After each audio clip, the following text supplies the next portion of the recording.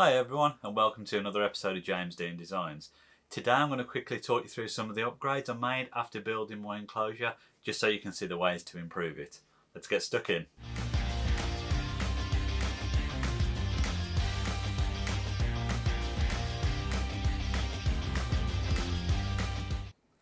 So for anyone who watched the original enclosure video, at the end of it I started to mention modifications. I'd actually already started to make those modifications at the time of filming that last scene, and it's those that I'm going to run through with you today. What I'll do is put a link up in the corner for the video and the plans in case you want to watch and download them as well, but I'll also put some links in the description to the different items I'm going to talk about in case you want to buy them. Now one of the things you'll see straight away is this orange laser shield behind me. Now I do bits of laser work with my 3018 Pro and one thing I'm very conscious of is the stray light can obviously damage your eyes. I'm not really a fan of the green glasses they provide with the lasers. One, I don't know what specifications they were made to and therefore how safe they are. But I also found that after I've been wearing them for a while, it started to distort my vision and it certainly threw off the colours. It was actually quite surreal and it takes a bit of time for my eyes to adjust afterwards after I've taken the glasses off. So I wanted something that was a bit more safer, such as this laser shield.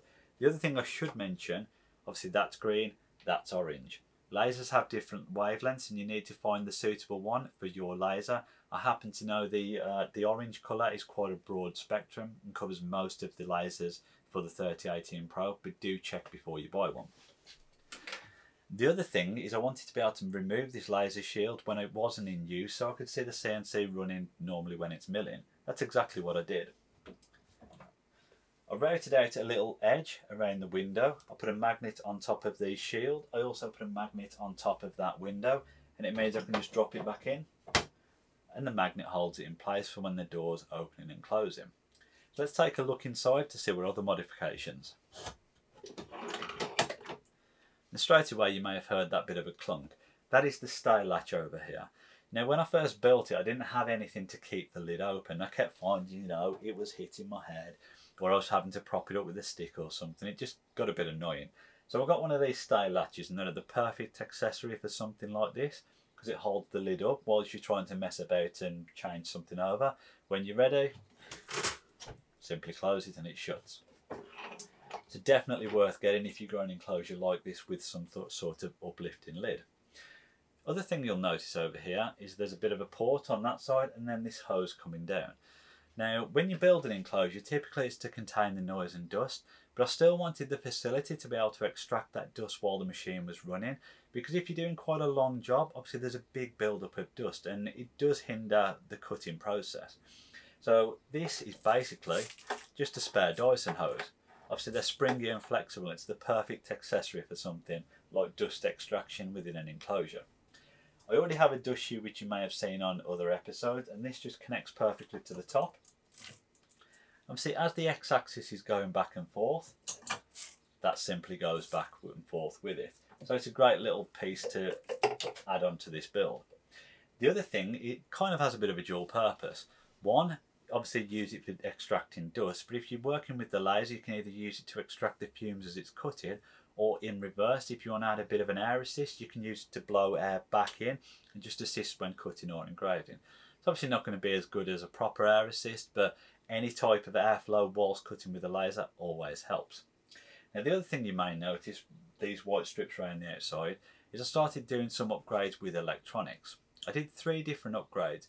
One was adding lights, two was adding an extractor fan at the top and three was adding a fan to the control board to keep it cool. Now obviously I added lights, partly because it looks cool but also to help me view things better when I'm working on the machine. I added the extractor fan because when the machine's running and again for long periods of time it generates heat and you want to extract that heat out to save everything getting too warm within the enclosure. So I can just turn that on for 10 minutes and get it to pull all the hot air out or for example if there's fumes coming off the laser again it can just pull the fumes out of the enclosure as well. And then the fan for the control board, obviously the control board has lots of components that get very hot while they're processing. You want to keep that as cool as possible. So a fan just helps the airflow and again keep everything cool. Now onto control boards. Most control boards for the 3018 Pro have a 12 volt output. And this is perfect for running accessories like this. You just need to make sure that your PSU or your power supply to the control board is rated high enough to take the different accessories. I've also made sure that they're all on different switches so I can control them separately. I may not want the lights on all the time whilst the fan's running for the control board. For example, if it's a long job again, I don't want the lights on while I'm not here because it's just going to use power that I don't need. But as I say, do check that your rating for your PSU is sufficient enough to take any different electrical additions for it. Now, the last accessory that I've finally got for my machine is a little webcam. Now these just run on your home Wi-Fi. I think this particular one's called a Wycam or something like that. They can be got from places like Banggood or AliExpress for dirt cheap. But they're also great because they have a wide angle view. And what this means is I can simply just drop it on the handle and it can record my machine as it's cutting. Now obviously if I'm going back in the house to get a drink or I'm leaving the machine for a while while it's cutting, that's when most of the accidents just always typically happen to go wrong. So something like this little camera is just brilliant because I can watch it on my phone whilst I'm doing something else and then come back if I need to and hit the stop button or just to change or you know when the job's done I can easily see. So definitely a good accessory to get and a brilliant way to monitor your machine whilst you're not necessarily standing next to it. Now, as I say, those are just the modifications I've made, but if you've got anything you think could help me, then please do let me know in the comments below. I love chatting to everyone. If you enjoyed the video, as always, please give it a thumbs up and subscribe to the channel. It really does help out. But if not, I will see you all in the next video.